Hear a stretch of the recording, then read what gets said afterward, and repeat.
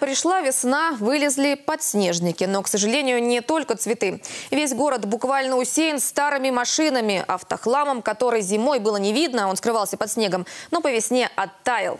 И некоторые машины стоят на дорогах и во дворах годами. У властей порой просто нет рычагов, чтобы как-то исправить ситуацию. Но уже сейчас в Ярославле рассматривается проект постановления, который позволит эвакуировать такие машины в принудительном порядке. Материал Захара Копова.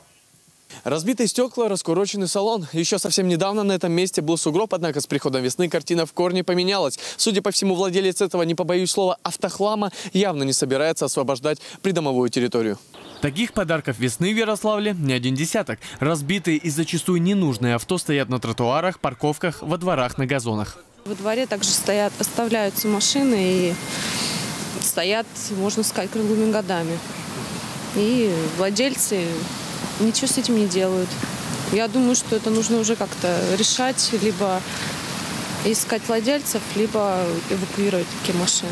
Соцсети буквально забиты фотографиями автохлама. В интернете машины-подснежники сейчас одна из самых обсуждаемых тем. Пусть дорожники металлолом по городу собирают, а то у них вечно денег на ремонт дорог нет. Просто улыбнула вчера. Все ездил мимо сугроба, а тут появился автомобиль. По Титова 14 во дворе с осени стоит авто с украинскими номерами. А это типичный представитель семейства так называемых подснежников. Вид автомобильный произрастает приблизительно в конце марта-начале апреля. При большом желании можно подойти и даже что-то нарисовать. Однако не рекомендуется. Все-таки не очень чисто. Регулярные рейды сотрудников полиции помогают выявить владельцев авто. Сумма штрафа небольшая – от 500 до 2000 рублей. Если же такой автомобиль размещен с нарушением правил дорожного движения, то к этой работе будут подключаться сотрудники ГИБДД, и в отношении владельцев будут также составляться административные протоколы. Если же э, автомобиль мешает проезду, то будут приниматься меры вплоть до эвакуации. В районных администрациях, куда поступают жалобы от жителей, говорят о несовершенстве законов. Принудительная эвакуация не разрешена, если правила дорожного движения не нарушены, даже если машины стоят годами. Приходится находить автовладельцев и уговаривать их убрать транспортные средства. Встречаются такие, которые не хотят этого делать.